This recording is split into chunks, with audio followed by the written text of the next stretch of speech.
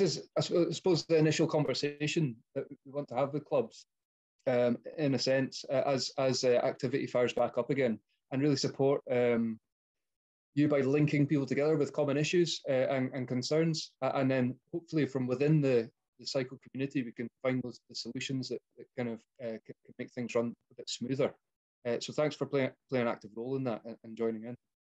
Um, as I mentioned, uh, feedback, any any other uh, things that you can think of that we could work on. And we'll, um, as a part of the, the article that you, you signed up through, and, and Fraser will post the, the link at the end, uh, there's a, a, form that you can fill in to feedback in to, to shape things how they, how they move forward.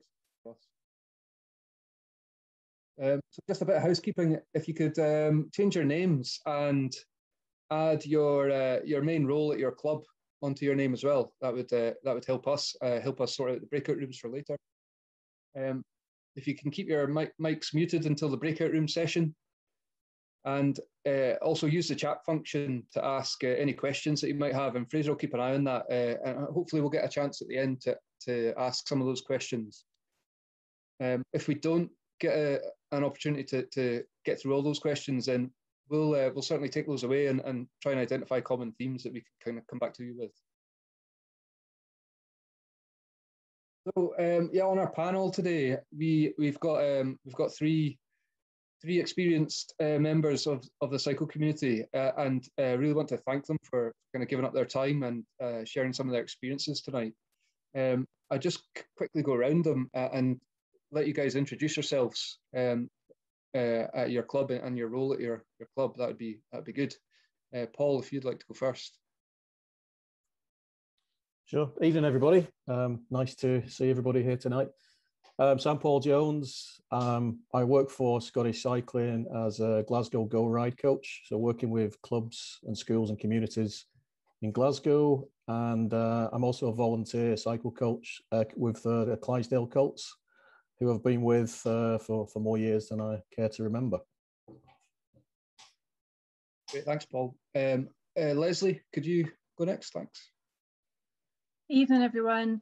I'm Lesley. I'm the WPO at Falkirk Junior Bike Club. Um, parent of a rider also. I've got my son Cameron, who's one of the under 16s at the club. But I've been a WPO in four different clubs, not cycle clubs, but four different sports clubs over the last 10 years.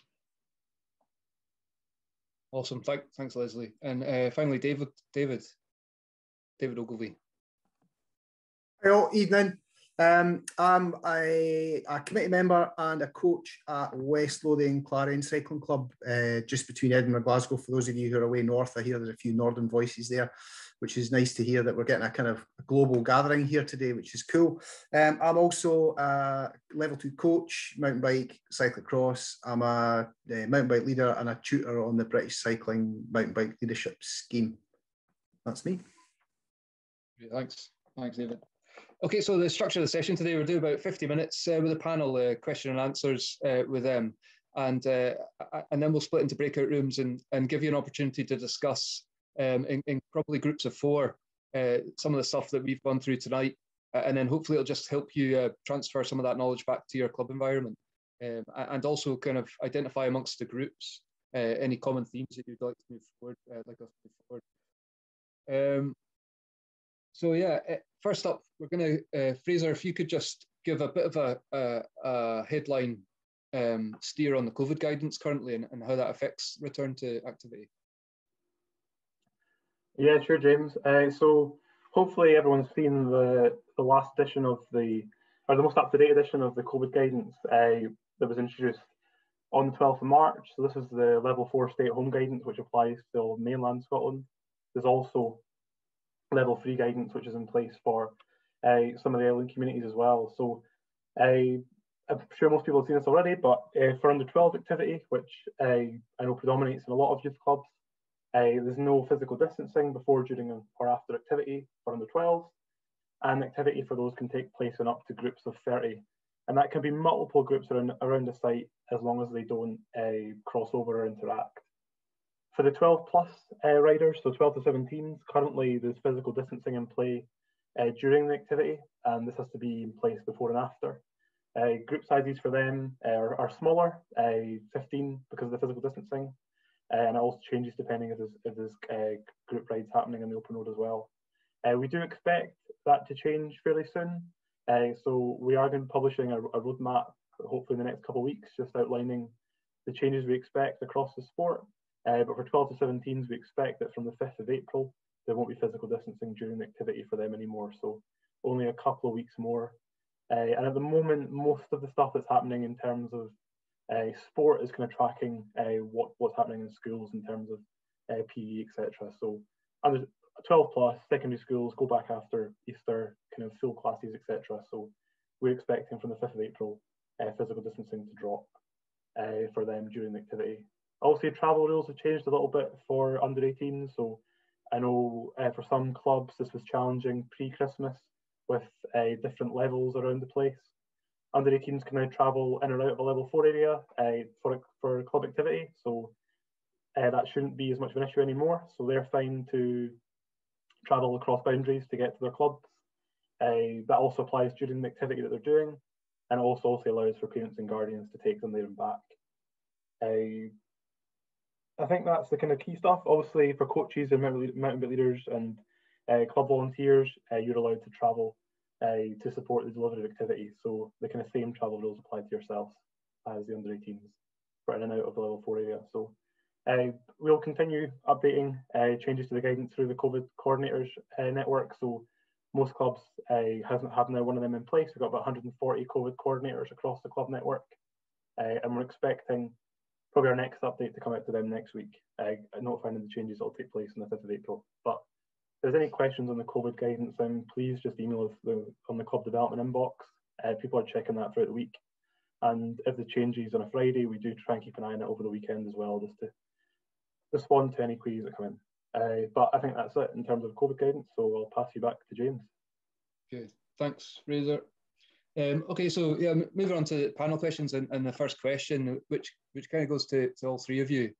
Um, but and I've combined two of the questions that I sent out to you into one. But uh, so why, why, do we need to return to club activity, and, and what are your top three considerations or concerns for returning to activity, and how you have thought about overcoming these concerns? Uh, perhaps go to Paul first. Sure. Um, yeah. So why return? I, I think as um, a coach in a youth club, you know, we, we're really, really passionate about helping kids to develop cycling. Many, many benefits mentally and, and physically. And I think during these really hard, uncertain times, um, some kids' mental health could have suffered. You know, some of the physical health could have suffered. Um, some of the kids maybe not doing much exercise apart from when they're at the cycling club. Um, so I think on those two elements, just really trying to help with the mental health and you know the physical health um, of the kids that we coach is, is a really positive thing to do. Um, and I guess we shouldn't forget the coaches as well. You know, we, we generally enjoy what we do, and I think it's really nice for for the coaches to be back and for everyone to get some kind of uh, use the word normality, whatever that is these days, but trying to get some level of normality and maybe some routine back for you know some of the kids um, that maybe had a hard time over the last 12 months.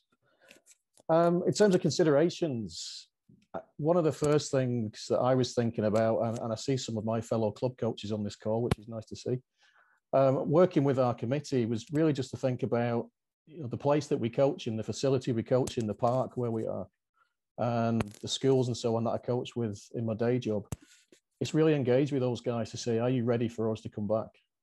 You know, so rather than just uh, rock up with 100 kids after being away for several months you know let's collaborate with the the facility management or the landowners whoever it may be um, and review risk assessments you know review the club's risk assessments uh, with wpos and committee and also the management of the facilities and just make sure everything's covered and everyone's happy uh, to get back to that facility.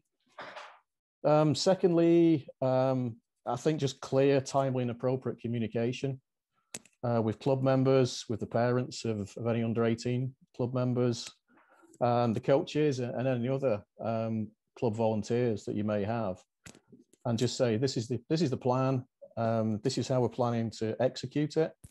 You know, has anyone got any concerns on this? Anything that you know the committee may have missed that we need to consider? So getting that communication out clearly and and, and seeking feedback you know, just making sure again that people don't feel obliged to return to activity, but they, you know, they are happy to do so uh, and feeling confident to do so.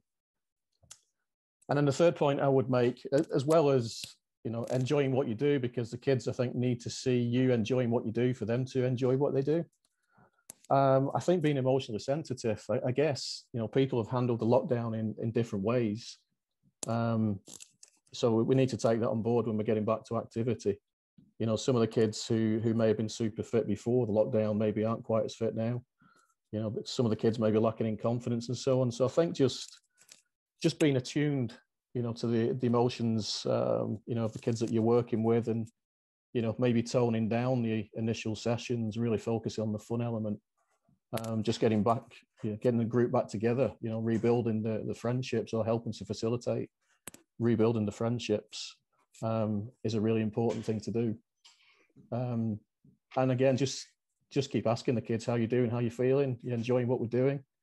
Um, so really involving them, um, giving them a bit of autonomy as well, and uh, you know maybe allowing them to choose things they want to do rather than the coach prescribing uh, a session and so on. And as a coach, being flexible and adaptable as as we always are, because you, you don't know what you're going to be confronted with until you run the session. So that's some of my initial thoughts. And some of that I've learned from very recent experience. The Clydesdale Colts returned back to activity on uh, Saturday last week. Uh, we decided to do that with half of the club, half of the groups, just so the, the, the club can get, can get used to the facility and the facility can get used to the club again. Um, and kind of break us in gently. Uh, and I think that worked pretty well. So that's my initial thoughts. Thanks, Paul. Um, and, and covering uh, across you know a few questions there. So perhaps we'll go into a bit more depth uh, in, a bit. Um, but yeah, I think some of the, the bits that you draw out are, around uh, returning, get some normality back for, for people, and and I think that's a real uh, driver of motivation that, that, that, clubs should feel that they can really make a positive impact to getting things back to normality. Uh, and it might be a small part, but it's a really significant element of, of, of returning back to normal life. So it's point well made. Um, I also like what you say about you know taking the responsibility on as a group, and it's not just all on the coaches or all on the person organising the session. It's it's a real kind of uh, club effort to get people back, and no no one no individuals kind of shouldering that burden. Um, and and then the third point, just uh, I picked it there, but you know the broad spectrum of experiences that people have had during COVID, and, and just being cognizant of of the different uh, different experiences and, and, different places that people might be coming coming from. So yeah, all, all good stuff. Yeah, it's really appreciated. Thanks, Paul. Uh, Lesley, how about yourself? Yeah, I think to be fair, probably following on from what Paul has said, I'm maybe looking at it from with two hats on. So we've got my parent hat on and my, my WPO as well. But in terms of returning to sport, yeah, it's all about getting back to some sort of normality. And their physical and mental health is so important um, especially around the social aspect. Um, a lot of kids might not have been socialised over the last few months because school's not been in. The over 12s haven't necessarily been able to go out with their pals as much as the under 12s. So for the return, definitely doing it for their mental health. In terms of considerations um, for return again, I've kind of looked at it maybe a little bit differently to Paul, although along the kind of same lines. So the first one is just making sure that riders and parents know what things are going to look like. Because um, it might not be exactly the same bike club that you left you know last this time last year when we all kind of packed up our bikes and and that was it. Things might look a little bit different. There's physical distancing we might not be in the same venue.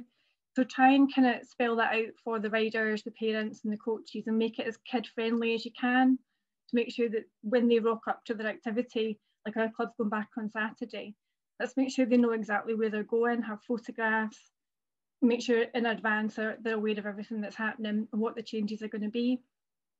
I think as well with my WPO hat on, making sure that the coaches and the volunteers are ready and that they're confident to go ahead as well.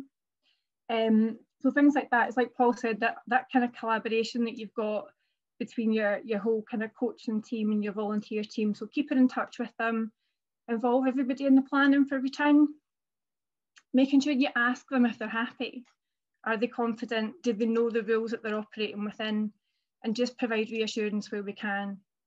And then my other consideration as WPO as well and COVID officer, I have to say as well, three hats actually, um, is just making sure that the safety of the riders, the coaches, the volunteers and the public have been taken into consideration as well because lots of us train in public spaces.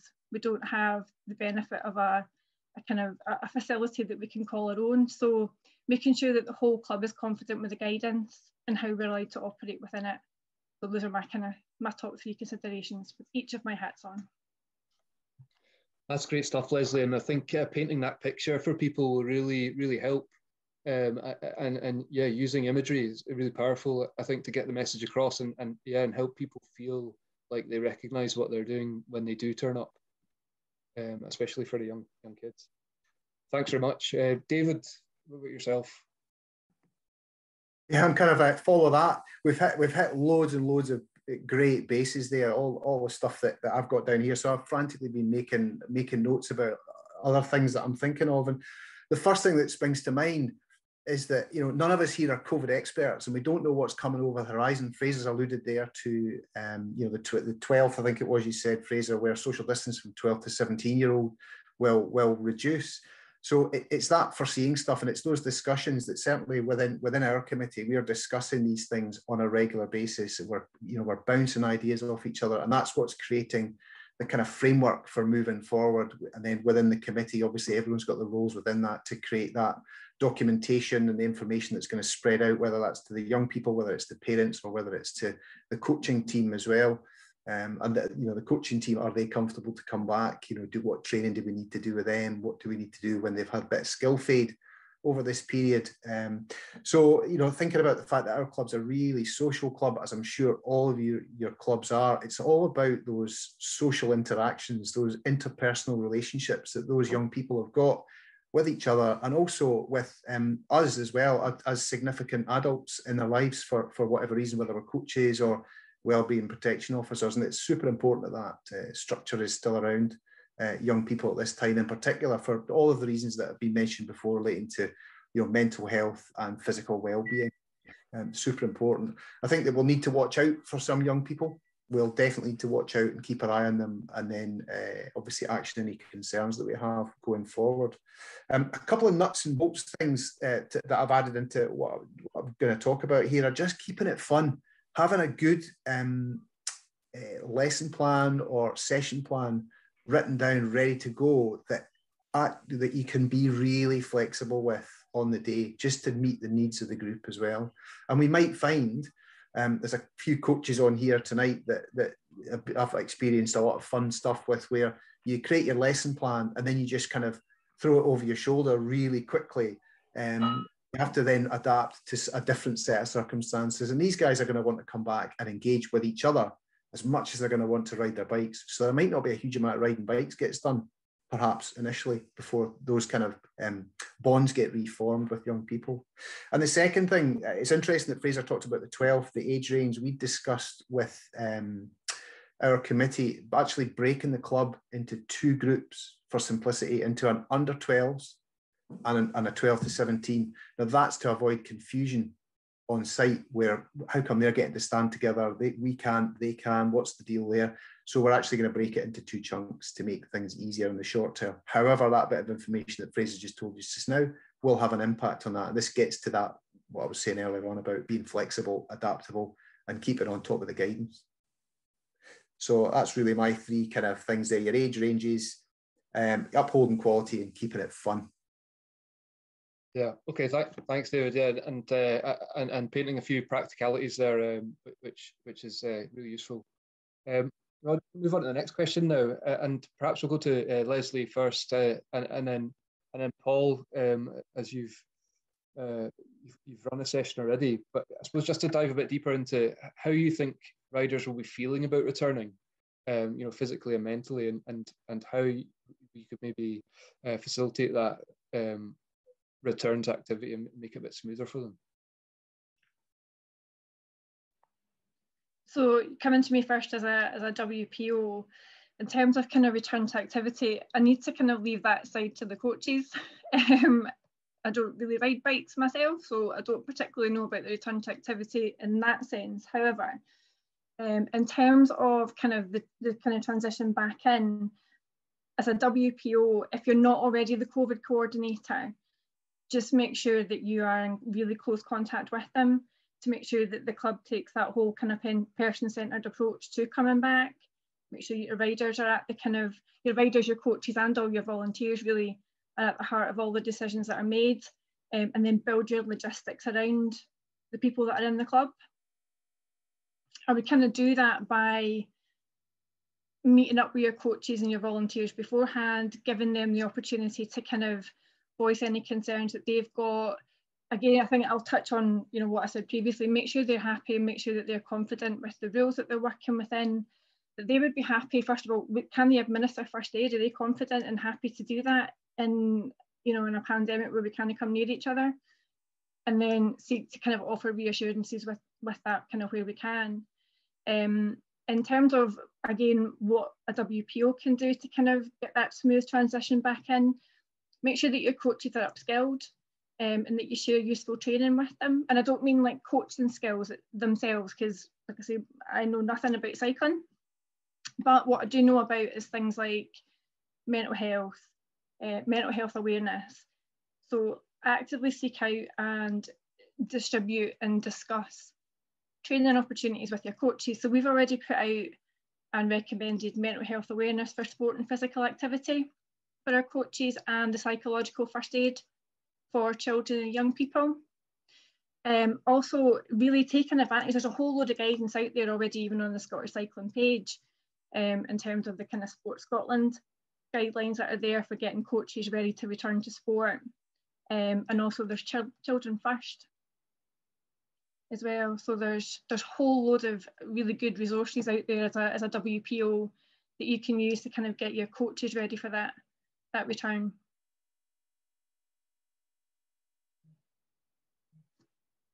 Okay, th thanks, Lesley. Yeah, lo loads of uh, loads of helpful tips and and uh, and resources to, to draw on there as well. Uh, Paul, how, how did you you find the uh, the riders were when they when they came back to activity at the weekend? There? Um, yeah, initially I would say um, the bunch were quieter than they used to be. So if I think of my group, they, they're aging between uh, about 11 and 15. And they're a pretty, pretty chatty bunch, full of energy, um, the vast majority of the time. And when we initially got together, and you know, I was saying, you know, two meters, two meters, let's let's be distant. And some of that is because there's obviously the perception of the public to take into account. You know, if um, if uh, Joe Bloggs is walking the dog and sees a big group of kids together, they can start um, getting a bit upset with what they're seeing. So again, just to be seen to be doing the right thing, uh, as well as doing what we should be doing anyway, based upon the guidance. So yeah, the kids were quiet to start with. Um, within five minutes, if not less, I would say it felt like we'd never really been away. Um, you know, once the kids had understood, you know, we're back. You know, I talked to them about, you know, how you feeling. Um, did a little bit of ice breaking. You know, what have you been doing? What have you been? Uh, who's been cycling? Who's not been cycling? Where have you been cycling? Just to try and relax people a little bit. Um, the kids were kind of like wind up springs. They're like, right, enough now. Let's get cycling. You know, so we were probably cycling away from the the sign on point within about ten minutes. Um, there was a little bit of anxiety from one of the older kids in particular. And I think it was because they were concerned that maybe they weren't quite as fit as the rest of the group because they've not cycled as much. So made it really clear that, you know, that's thank you for being honest. It's not a concern because, you know, it's, uh, as David alluded to, you know, this is going to be about fun. You know, a lot of this we're going to do off the bikes. We're just going to get back together as a group, uh, have some fun, play some games, you know, tell me some fascinating facts about what you've been working on. Um, and certainly by the end of the session, by the end of the 90 minute session, it, as I say, it was like, you know, we, we'd been coaching right the way through the lockdown. Uh, it didn't really feel that different uh, at all, to be honest, which was fantastic. You know, it was really reassuring for me as a coach, but also re- very reassuring for me, you know, that the, you know, the kids are in, in a good place. Um, and I think the, you know, what Lesley just said there as well, there's an awful lot of facilities and, and information and resources available because we shouldn't forget the coaches as well. You know how the coaches are feeling, and you know considering the mental well-being and the confidence of the coaches. So you know we shouldn't be afraid of tapping into the resources that are available uh, on the COVID Hub on Scottish Cycling's website, and you know Sport Scotland have got um, some uh, mental well-being sort of assessments that you can do as well. So lots of great things out there, but yeah, I was really delighted with how the kids responded, to be honest. So generally, all pr- pretty positive. Um, you know, after initial uh, kind of uh, anxious few moments, kind of thing, and or unfamiliarity, perhaps. Yeah. Yeah. Uh, okay, uh, Lesley, I'll, I'll, come back to you in a, in a second, but um, you know, just speaking about you know, um, considering that some kids might be in a different place to others. You know, how do you look after? You know, I'll, I'll ask you this question. I'll come back to you in a second. But how do you ask um, look after individuals who are maybe uh, you kind of de- detect that they're feeling a bit more anxious than others? Um, from a WPO point of view, you know, what, what perhaps you put in place to, to help that and keep the session running quite smoothly. Um, David, from from a, a parent's uh, point of view, how how um, how's the feeling prior to returning and uh, uh in the build up to it? From from you from as a yeah as a parent of yeah your your uh, youngsters at the club. Yeah, I think I think in the main, um, people are people are keen to re-engage. Um, we we're in a slightly different situation in that we haven't returned to activity yet. We're just trying to get our venues sorted out and nailed down. Um, we use Beecraigs Country Park. Uh, it's owned by a local authority, so we've kind of got to get past the local authority. Um, and they are being a little bit slow at coming back simply because they've, they've got COVID worries um, and they're not not certain about things. So we're waiting for them to come back. We also work closely with um, the local leisure trust who allow us to use the land around one of their leisure centres in Linlithgow. So once we've got these these aligned, then we'll be able to get back. But the, the parents thing, most most if not all those parents are keen to get young people back to activity. Um, we've got a really good uh, comms manager um, who takes everything from committee meetings and passes that through uh, along to parents, which it works really, really well. And we've got, we use Spond. I don't know if anyone else out there is using Spond as a booking system. It's a fantastic resource. Yeah, I see Alistair's thumb thumbs up in that. So it, it's a fabulous resource about getting information out, collecting information in. It really is uh, a piece of gold for us in terms of our communication. And, and that's the name of the game. It's having that open dialogue with everybody um, and within Spond, we've created uh, small user groups within that. So the younger ones, the slightly older ones, the slightly older ones, and that, and all the way through to, um, you know, your kind of under 18s, so that we can communicate discreetly with each of those groups, and the coaches can communicate discreetly with those groups as well, which means that we can have that open dialogue going with them at, at all times. Um, so that's that's that's incredibly useful. I think that what we did the last time, the last lockdown, when we came out, uh, we could do activity again, is we had a stepped and phased approach.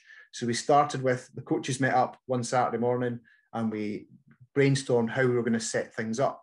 We made a wee video. Lesley talked about that earlier on as well, about how it's going to be set up for people arriving, people departing, people taking part in activity, where they were going to stand, what we were going to ask them, all this kind of stuff. Um, and then we then had the coaches and just their kids along, just to kind of road test everything. Followed by the following week, it was then coaches, coaches' kids, and the older kids, the ones that we could corral more easily and kind of have a little bit more of a handle on.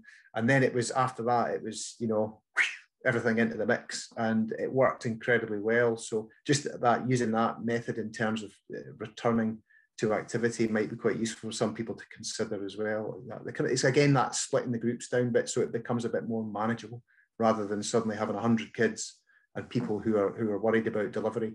And as Lesley and Paul both talked about, it's it's that uh, dialogue with the coaches as well, and it's upskilling the coaches. And we've got uh, Zoom meetings and potentially face-to-face meetings up in small groups to go and to go out for a ride, a social ride, and just reconnect uh, as a team as well over the next few weeks to create you know some some dialogue to get people thinking about how they're going to coach and what they're going to coach and why and when uh, and to who uh, just to get things ironed out. Great yeah. Uh, thanks yeah. I've been hearing lots on, on, on good good communication and, and, good early communication and making sure it's it's kind of two-way um, from an organizing point of view. Uh, so lesley just to go back to you and, and uh, get your thoughts on on looking after individuals um, what, what are you what are your thoughts on that? Well, what we've done at uh, Falkirk Junior Bike Club is that so the last time that we came out of lockdown, um, obviously with, with, with this time around we've got a bit of hindsight with with how we did last time.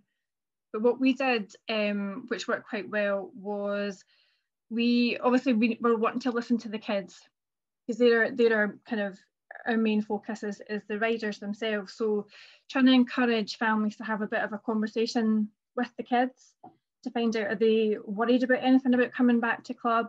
Is there anything that we kind of in confidence can be told about that we can offer a kind of group wide reassurance on? Um, so we created our, we got our um, communications um, committee member who's brilliant at all things kind of graphic design. And he created us a, a worry wheel, which was just a tool, not for sharing publicly, but it was just a tool for parents to use with their younger riders to kind of talk about what are they worried about.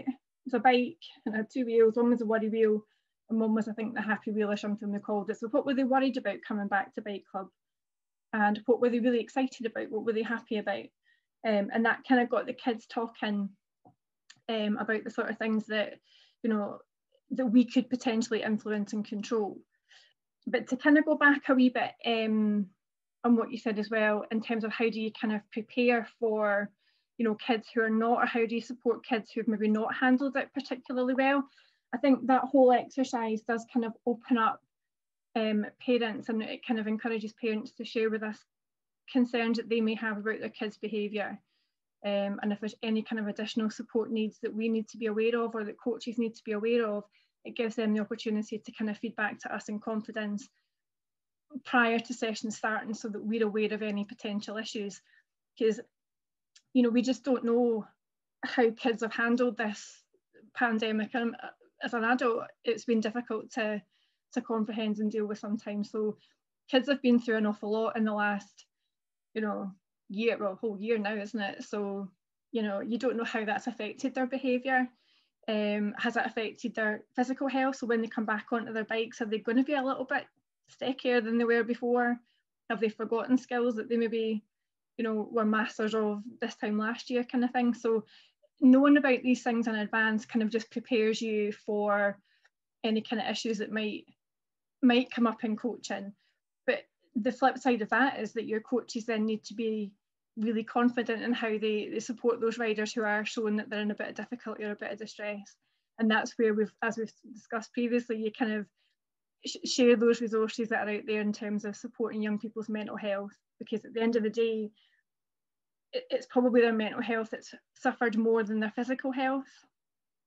And riding a bike is like riding a bike, you know, they'll get back on their bikes and they'll you know they'll be happy in in that respect but we don't know what people have been through and i think being able to support them and, and reconnect and i think was a word that david used and it's you know that's it in a nutshell um, for me yeah uh, that, that's great stuff uh, lesley. Just you creating that opportunity for people to feed in and, and, and kids to feed in i suppose. And uh, you know previous uh, jobs i've had a bit of an understanding of of um, using kind of indirect ways of communicating or non-confrontational ways of communicating how people are feeling so that you know it's not done through words in a face-to-face chat. It's maybe done by yourself on a on a scale of one to ten how you're feeling. Just using those little things to help really get an understanding of, of where people are at with stuff uh, and kids especially i suppose you know to relate to that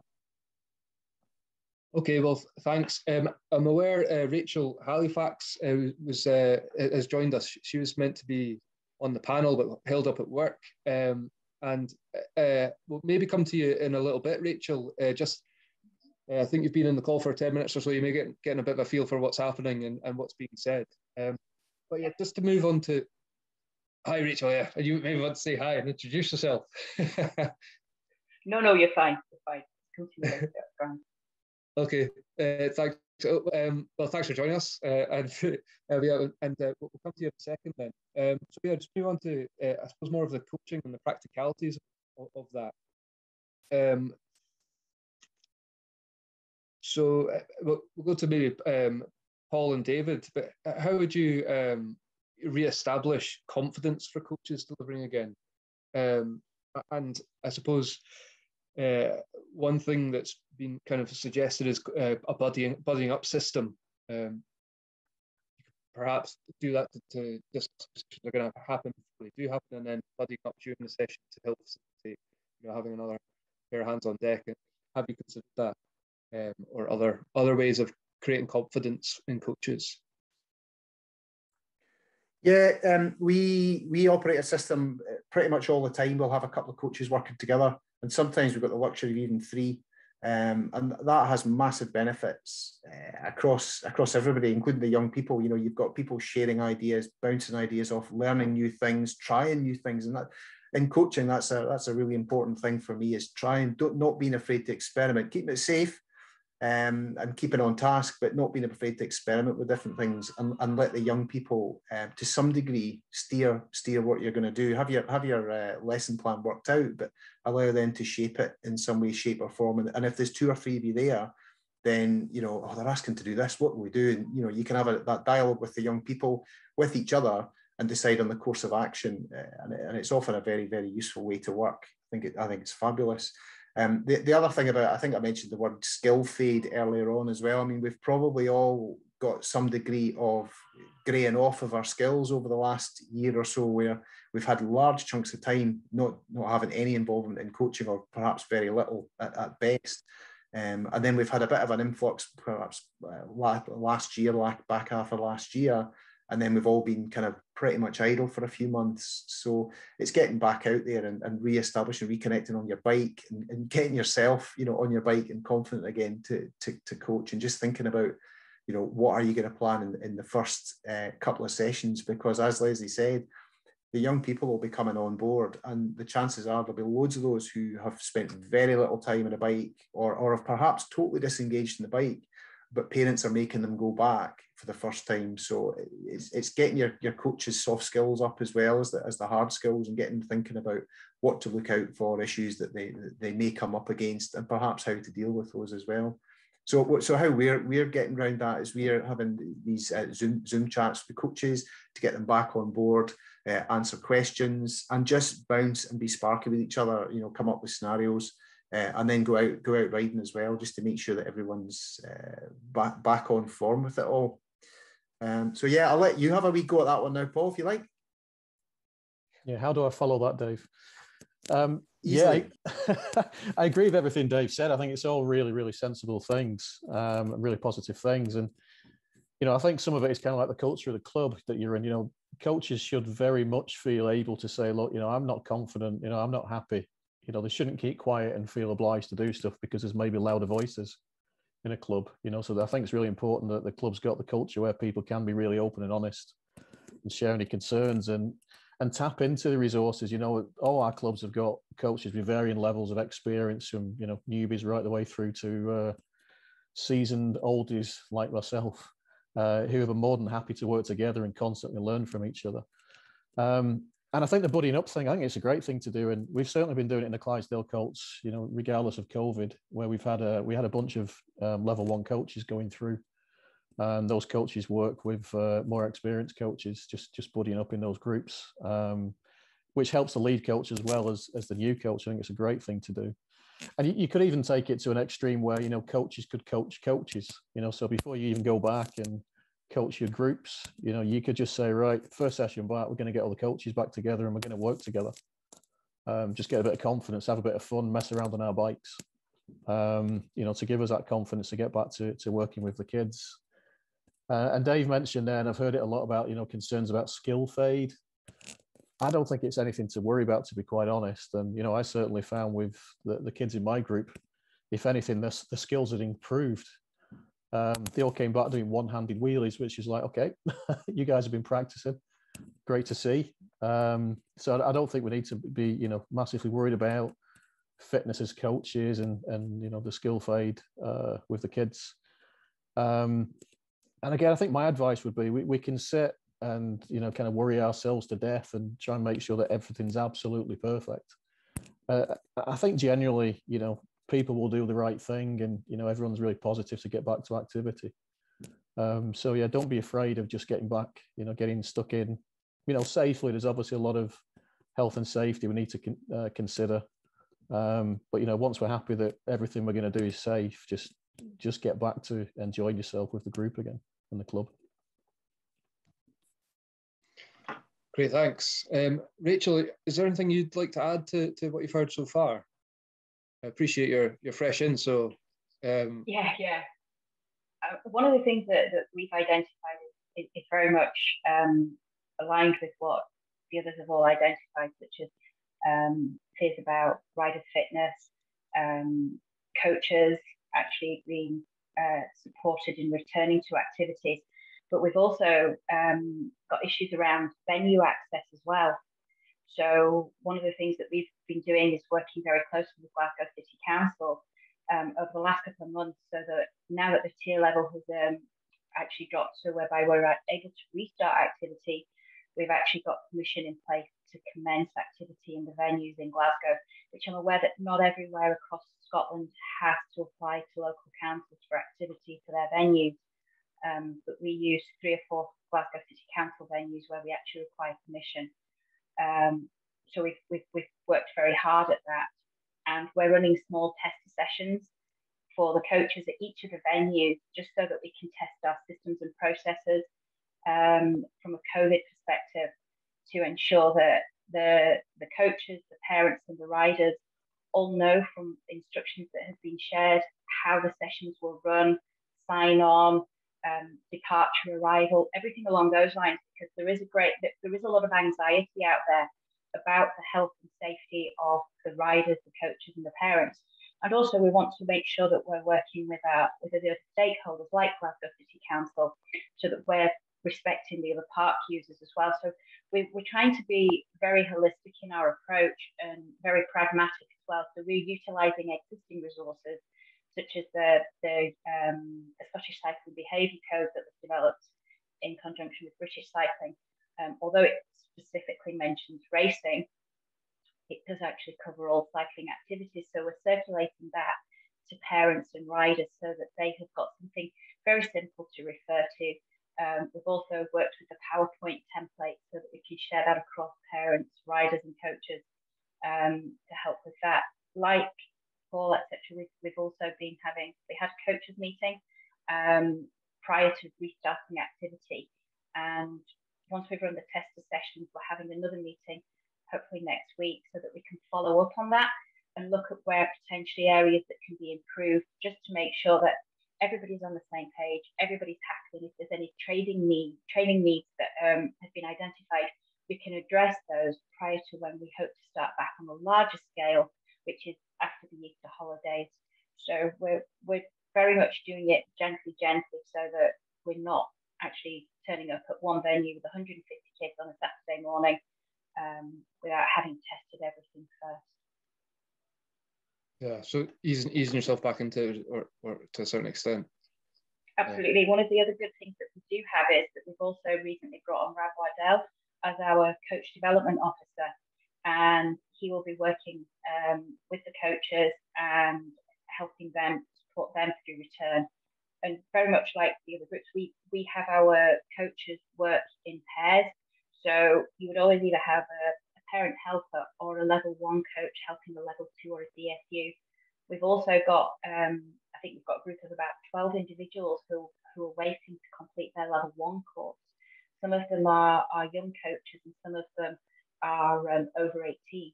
So they will also be buddied up with um, more experienced coaches in a mentorship. And I agree that the, uh, the, the, new coaches learn from the, the, more experienced coaches and vice versa. And it, it, it works really well as a balance. Yeah. Okay, that so, sounds like a lot of good stuff there. Um, I suppose we're, we're, we're coming to the end of, of the, the panel session. The, the final um, the, the final kind of question for the panel is uh, just to reflect on um, what you're looking forward to on returning to activity, or, or if you have uh, returned, what, what was the kind of highlight for you, and what, what did you enjoy about it? Uh, so we'll just go go around uh, all four and and uh, see what your what see what your your hopes for um, positivity are in returning to activity. Uh, who wants to kick us off? I'll go first and keep it brief if you don't mind, James, because I've got to go off to this yeah. couple of minutes. But um, I'm just looking forward to seeing all those wee faces back on their bikes, razzing around in the field, around the trees, and all the rest of it, chatting like it's never been a problem, like we've never been away. I think that that you know Paul talked about that earlier. That you know once they came back to activity, they just re-engage with each other really quickly. Within ten minutes, they're out riding their bikes, and that's that's absolutely brilliant. So that's for me, that's number one. Those those young people back in on their bikes, messing about, having fun, and not worrying potentially about schoolwork or other things that's perhaps going on in the home or whatever. Just out there having fun and enjoying themselves. Awesome, thanks, Paul. I would echo what Dave said. You know, what I'd hoped to see was a was a bunch of of kids and coaches and helpers all having fun on a bike with a big smile on the face, um, making their presence known in in the park again. And I'm really pleased to see. You know, that's that's what happened. I think everybody after the session, kids, helpers, coaches, all came back with a big smile on our faces, and it was it was great. Such a positive feeling. Yeah, good stuff. And, and just to go back to you, David, um, if you need to shoot off, uh, appreciate you've got a, an AGM to get to. So um, thanks very much for your time. It's much appreciated, um, and and some great stuff to share. Thanks all, and uh, good luck when you get back to coaching and uh, WPO and, and committeeing and whatever whatever you're up to. Hope it all goes great. Catch you later. Cheers. Uh, Rachael. Pretty much echo what everybody else said. The it, it's about getting the kids back on bikes, having fun, and seeing the kids' faces, the coaches' faces, the volunteers' faces. But it's that energy um, that you feel around a coaching session when everybody's having a great time. That is basically what I can't wait to see. And uh, Lesley?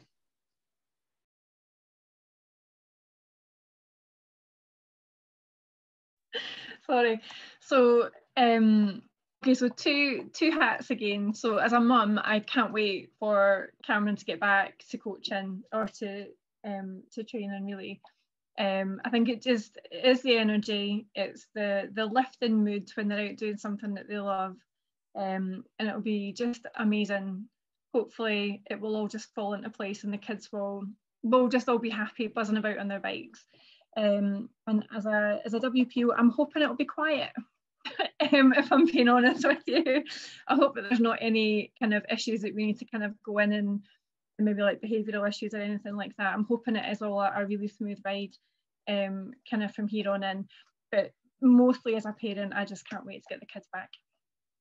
Yeah, lots to look forward to. Um, okay, well, thanks for sharing that. Um, I suppose um, uh, yeah, what we're going to do now is, is go into breakout breakout rooms. Um, so first of all, just uh, thanks to the panel. It, so, some of them might might shoot off, some of them might hang around. Um, thanks to the panel for, for giving up their time and, and sharing their experiences and their thoughts on, on returning to activity. It's it's really appreciated, and, and I suppose um, these, these things can't happen if, if people don't don't uh, say yes to us. So thanks very much. It's it's really appreciated. Uh, yes, yeah, so as we go into breakout rooms, we'll go into uh, rooms of four. And if you've not been on a Zoom call before with breakout rooms, you'll, you'll automatically get assigned to a room. Um, I think Fraser's just posted the questions in the chat. Uh, so you, will be able to kind of uh, talk, talk them through amongst yourselves. Um, yeah, and then kind of the, one of the last questions is, uh, one of the questions is around feeding back into us to, to help us understand, and, and perhaps if you get a chance to discuss that as as if we're uh, any any issues that you want us to kind of move forward and, and look into for you. So uh, Fraser, if you if you can set that up and um, yeah, we'll, we'll be our we'll put the, put you guys into breakout rooms for about 15 minutes and then we'll return here for a quick summary and, and a debrief. Well, in true WPO fashion, I've got a PVG check to do at eight o'clock, so I'm going to dash off. But thank you so much for having me tonight. Thank you. I need to say goodbye too. So um, yeah, thanks for having me and uh, best of luck with your return to activity. You'll have a great time. Cheers, Paul. Thanks. Bye.